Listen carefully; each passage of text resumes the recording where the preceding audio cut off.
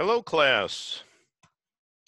I am back, and uh, we've sort of finished up coordinate systems now, and that's really finishing up chapter two. Um, there's a lot more, and uh, uh, along the lines of what I said in the lectures uh, in your book covers all of that. We're, we're very parallel in the first two chapters as to how we cover the material. Um, that's not probably the case from now on entirely, except for chapter eight, of course. uh, so let me uh, um, mention a couple things. I'm not going to go into chapter three, which is the vector calculus right now. You got a taste of vector calculus in lecture one when I discussed Maxwell's equations and the epiphany to James Clerk Maxwell of, oh my God, uh, light is an electromagnetic uh, wave phenomenon, uh, as well as uh, not just light, but all electromagnetic uh, waves were that. So yeah, it made it a lot easier to, uh, to, to really figure it all out. Now, the chapter after chapter three is chapter four, uh, electrostatics. And I come, well, actually, yeah, and I, and, and starts with Maxwell's equations, stuff like that. I'm going to come back to Maxwell's equations. What I want to do is I want to go through uh, what I would consider sort of an, a standard electrostatics uh, curricula so that you can look at a, a, couple different applications. This is more applications oriented electrostatics, uh, but um, I want to get some fundamentals, some things that seem to, if we just go into math, math, math, math, and you don't understand the concepts of what's really going on, uh, you know, what, what, where does that take you? So what I want is I want to give you a conceptual understanding really of electric fields and electrostatics. And uh, uh, we're going to look at three different things. Uh, and and this is really the beginning of our um, course in electromagnetics, I guess. Really, up to here, it was just uh, getting the bricks ready. Uh, so electrostatics is sort of, I, yeah, not a good S there and uh, or a line, but that's what we're going to be talking about today. And we're going to start with point charges. And I want to uh, uh, sort of introduce you to this um, with looking at a, uh, uh, let's say that I had a uranium uh, nucleus, right? And of course, the uranium nucleus uh, has uh, 92 protons, doesn't it? So 92 protons, now they're mixed in with neutrons and, uh, you know, God, how many neutrons are there? There's a hundred and 43, something like that. I can't remember. Um, but yeah, there's a lot of neutrons in there. Let's not worry about the neutrons though, because the neutrons are neutrally, uh, you know, charged neutral. So we're just really worrying about this. So let's say that we somehow and stripped all the electrons away from from this nucleus that we've got here, and then we've got an uh, an electron that is zooming by this nucleus. Now, this nucleus, you know, if you want to think about it, how, how small is a nucleus? It's about 10 to the minus 15, isn't it? So it's about 100,000 times smaller. In other words, uh, if we were thinking about an about an atom, uh, this atom, right, then the nucleus would be about the size of a marble if the atom were the size of Fenway Park. All right? Does everyone everyone see that? Everyone understand that now? So yeah, uh, actually it would be a bit bigger than Fenway Park, maybe the Astrodome. So it'd be like a marble in the Astrodome, the nucleus of an atom. Now you're probably thinking to my to yourself right now, well, why is there so much space between the outside electron orbitals in an atom and the nucleus of an atom, which is the size of a marble in the astrodome? You're probably thinking, wondering that. It doesn't have to be that way. I know. You're thinking, what, what does he mean by that? Well, think of a white dwarf star. Think of a white dwarf star. What is a white dwarf, white dwarf star? You know, if, if we look at a white dwarf star, which is only about twice as large as the Earth, right? A white dwarf is only about twice as large as the Earth, and yet it's got the same mass as the Sun. Now, what is the density? That is 12,000 times the density of lead. The density of a white dwarf star is 12,000 times the density. Actually, I think it was platinum, is what it was compared to. 12,000 times the density of platinum. And you think, well, how could that happen? Well, what's happened is actually the uh, atoms themselves have been crushed down to, you know, uh, quarks zooming around. Anyway, not going to get into that. That's not what this class is about. But I'm saying that, and and uh, I'm also uh, uh, saying my my paper's too small to draw this, but this is really small, right? 10 to the minus 15. But I'm saying that this electron is going by at the speed of light, right? That's my velocity is the speed of light, and its average distance all right average because you know it's sort of gonna it's gonna be deflected by that but its average distance over about a uh, let's say a, a, a 40 uh, angstrom you know distance around the atom an atom is about an angstrom 1.5 angstroms for for uh, steel or for iron i mean but if we look at that, about 40 angstroms, let's say it's zooming by, and we're going to say the average distance there is about 20 uh, angstroms, right? And you're all saying right now, maybe, what's an angstrom?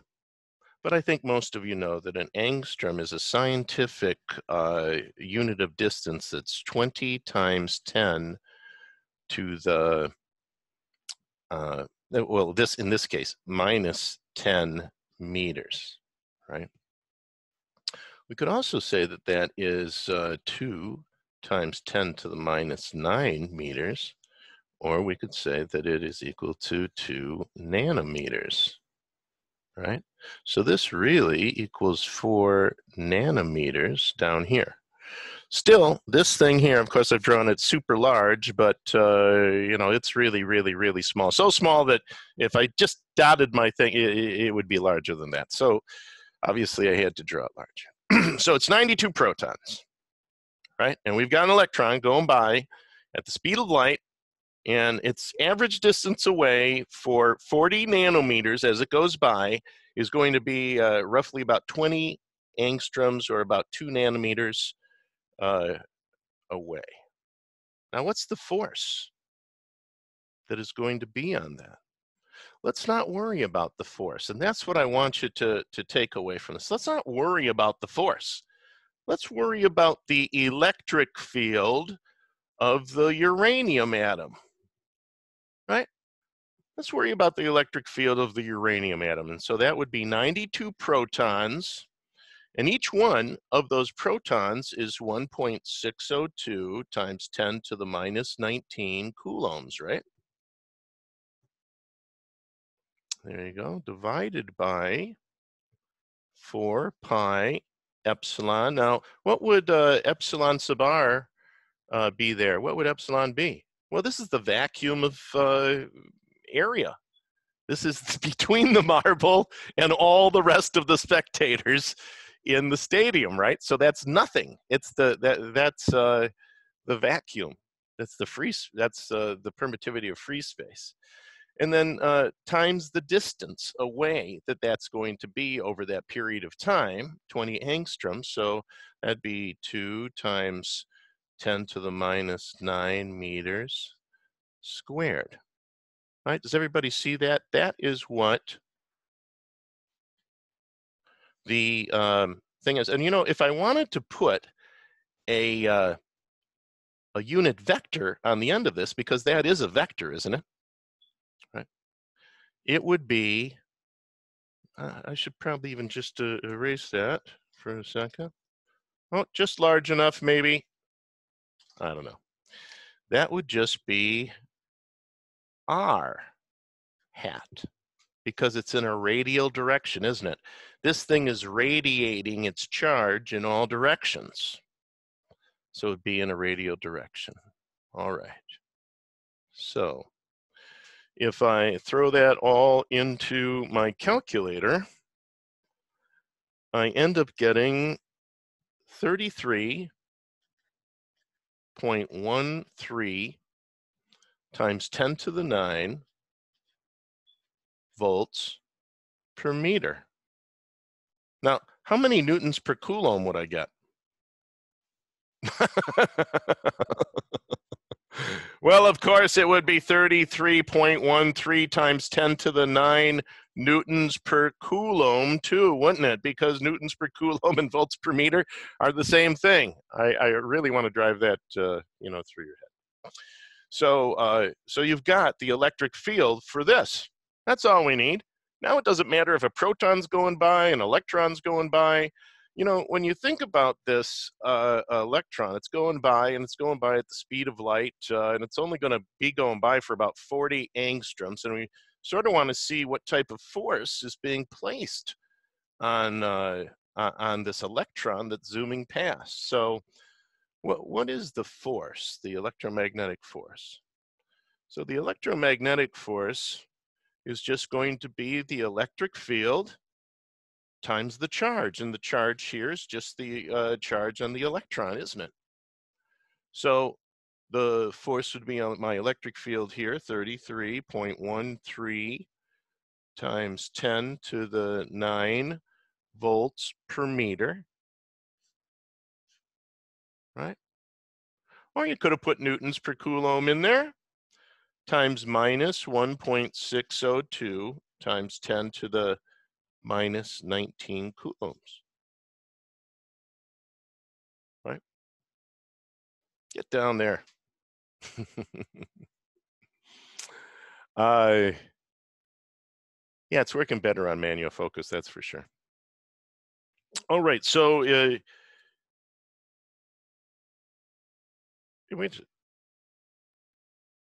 yeah, okay, so the force then is 5.3 times 10 to the minus 9 newtons. And you're thinking to yourself, oh, that's not a very big 5.3 nano newtons. Not a very big uh, force. But when you think about it, it's on a very small mass object, isn't it? So if we look at the acceleration, because accel force equals mass times acceleration, or acceleration equals force divided by mass, that's just going to be our mass, 5.3 times 10 to the minus 9 newtons, divided by, and this would be, of course, the mass in the uh, radial direction. Oh, I'm sorry, I forgot to put the minus sign there, didn't I? Because that minus sign had to go all the way through. So let's face it, it's a it's a it's a force in the minus direction. So the magnitude of that force divided by the mass of an electron, which would be 9.1 times 10 to the minus 31 kilograms, is actually huge because look at the differential between minus 9 and minus 31.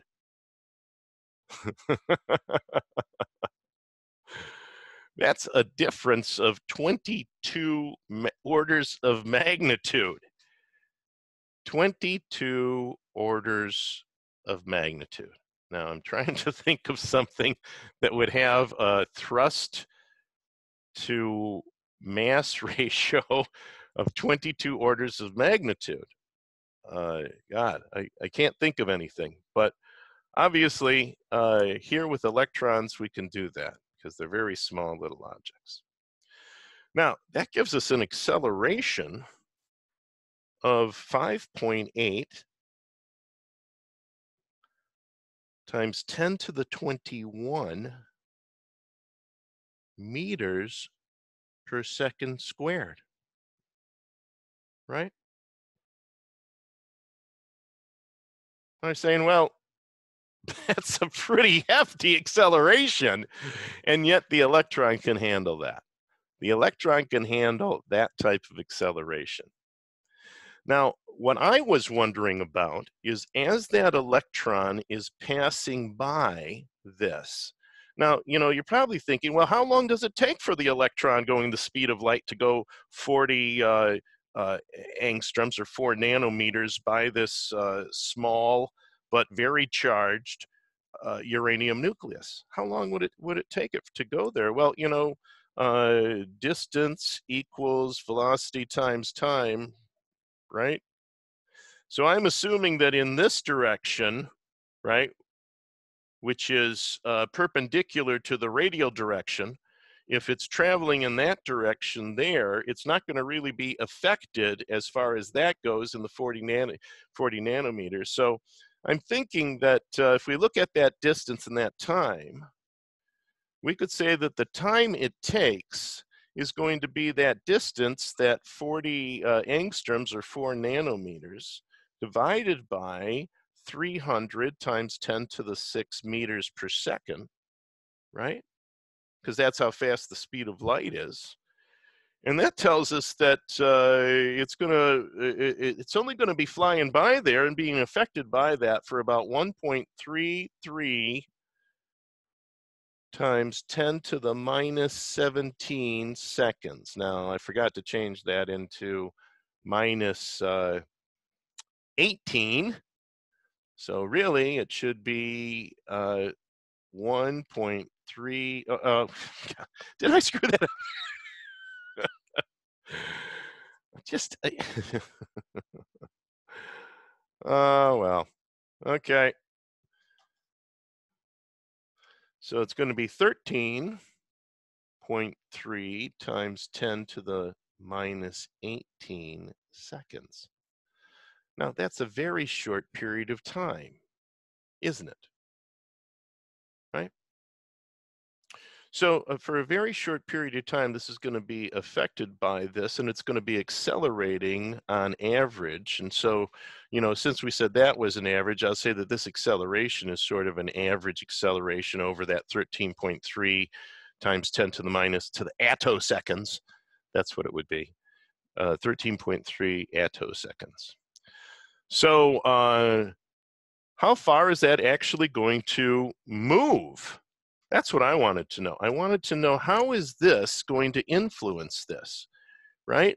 We've got an electron and it's going by and it's going to be attracted. I think everybody can see this is a negative charge. That's a, a positive charge. So if we wanted to uh, keep all of these, this would be negative. This would be R R. There you go. Oops, I didn't even need those around there then. There you go. All of this would be R so that we keep the unit vector and the direction of the vector is always constant. So if it's, uh, this, this is what I wanted to see. I wanted to see how much this is going to deflect,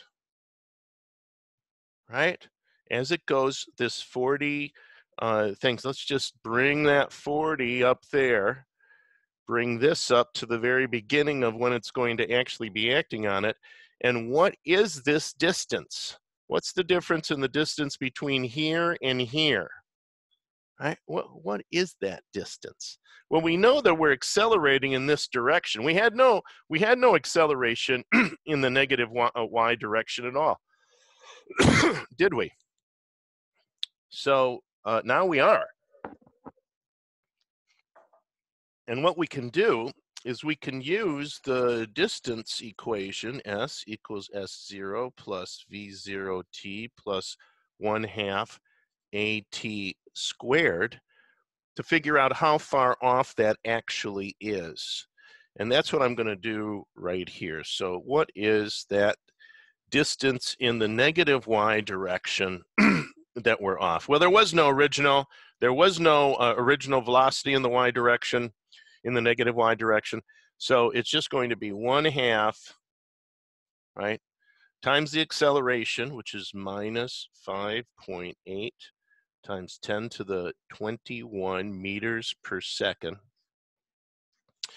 times the time that it was actually affected uh, by that uh, nucleus, which would be 13.3 times 10 to the minus 18, 13.3 times 10 to the minus 18 seconds, right? And that tells us how far it's going to be deflected.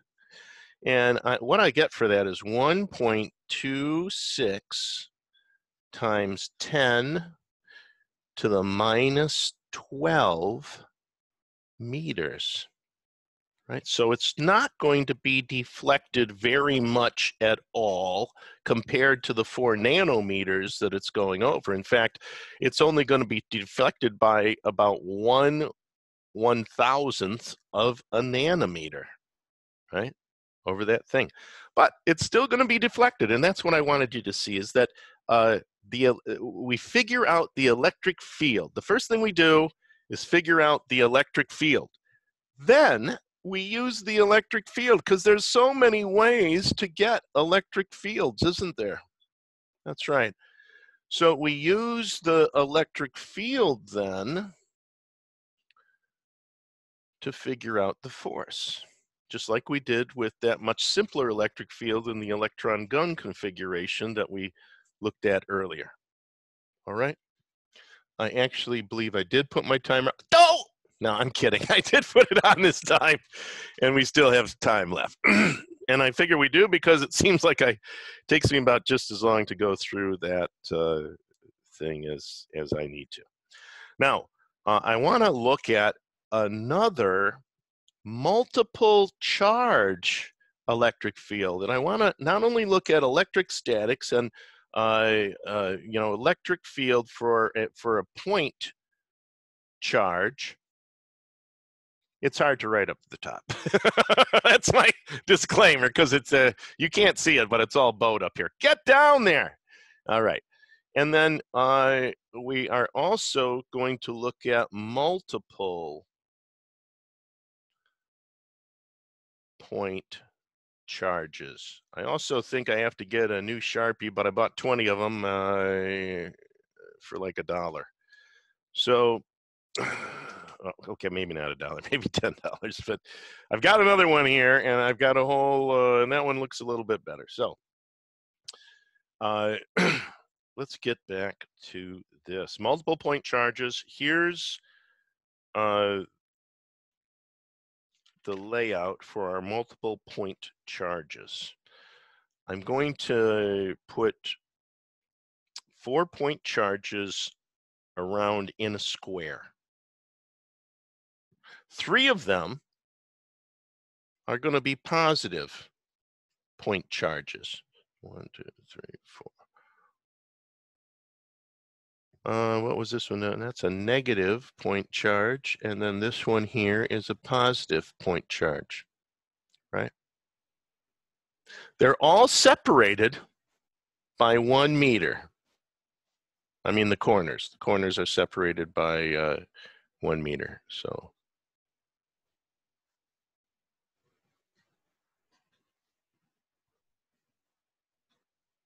right?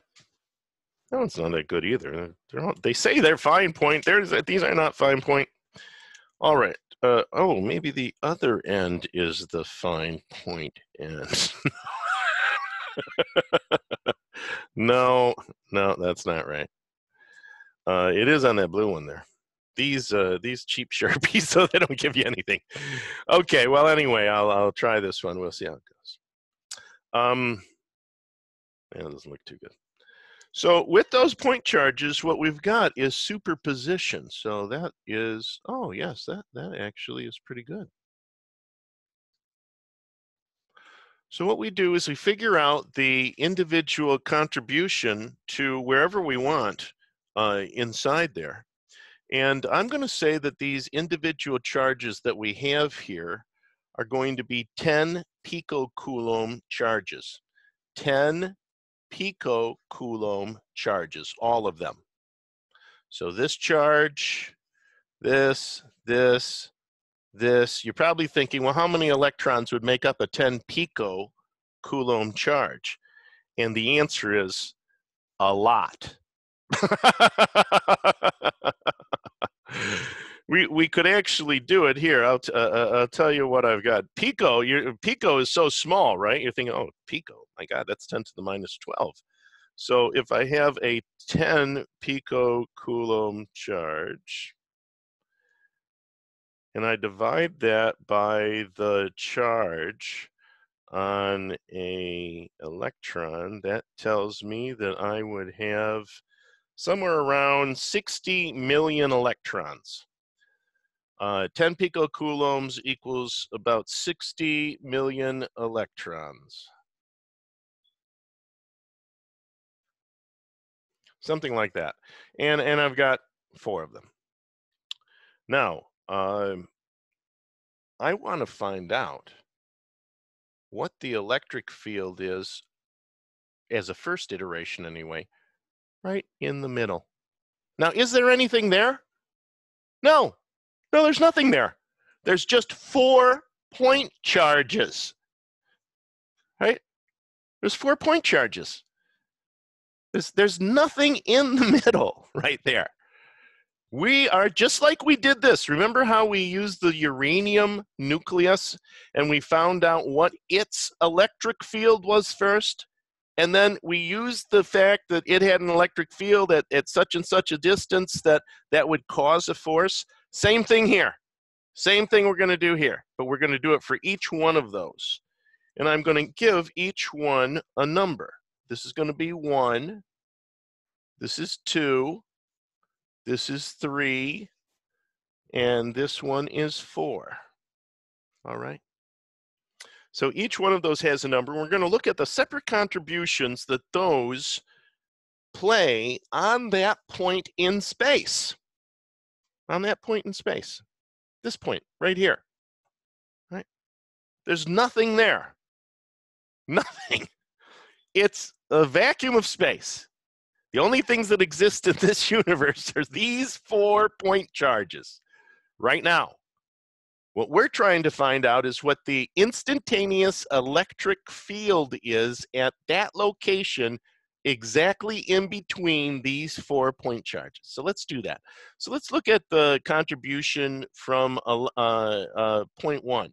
That's going to be that positive charge, isn't it? So the contribution from that positive charge is going to be it, right? Um, in fact, let's find let's just find the magnitude of that of that positive charge right now. Let's just do that, right? For for for uh, number one. At that distance. In fact, I'll write it out generally right now. So let's say Q1, which would be this positive 10 picocoulomb charge divided by 4 pi epsilon r squared. Right? Isn't that what it is?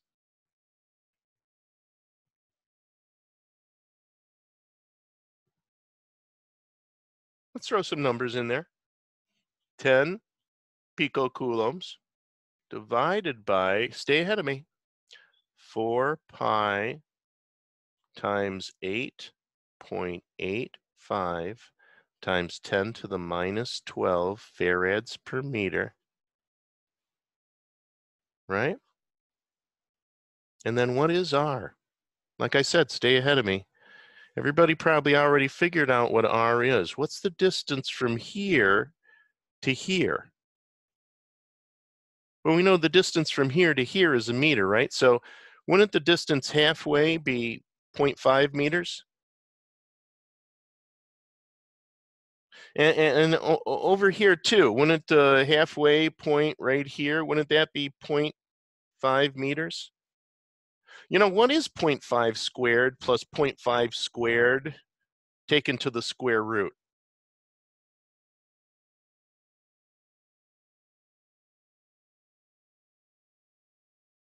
It'd be 0.5 taken to the square root, wouldn't it? what is the square root of 0.5? And I, everyone knows it's 0.7071. 0.7071 meters squared, right? So that's the equation that I have right there. And that's really what I would call, I'm going to call that the magnitude of the contribution from E1. But that's not uh, E1, is it? It's just the magnitude. That's all I've figured out right here. And in fact, I, I, I believe I have an answer. Oh, actually, no, I did it all symbolically. so, no, I don't have an answer for that, but don't worry about it because uh, it's all going to fall out uh, in the end anyway. Uh, let's just use this one right here for a second. So, let's look at now we know what the uh, magnitude of this is, right? So, let's not worry about that yet. I could come up with a magnitude right now, but um, uh, why don't we work it out symbolically? And we know that this equals this. All right. So let's let's just do it. So what's my contribution from E1 though? Now, how do I know? I mean, this thing in the middle, there, I, I don't have two charges. This is what students always say to me. Professor Grenquist, I don't have two charges, so I don't know if it's being pushed away or being pulled to uh, uh, number one. Is it being, is this thing, because there's nothing there, is it being attracted or is it being repulsed?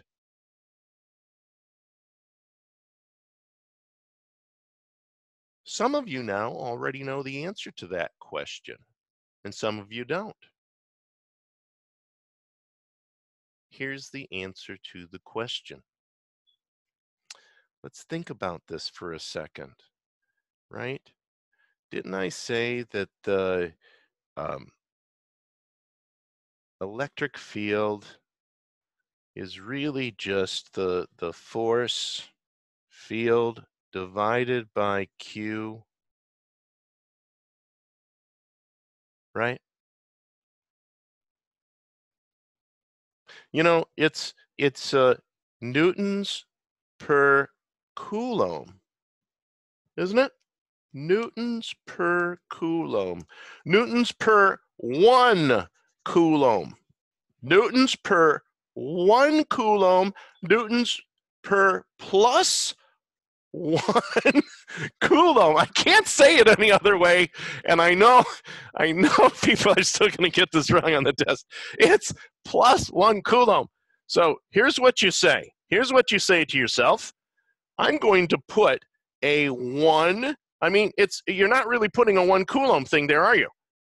You're just mentally, virtually putting a one Coulomb charge there so that you can figure out the electric field because it's one Coulomb and it's plus one. so uh, I don't know how to make that uh, any more emphatic than I just did there. But yes, it's pushing it away, isn't it?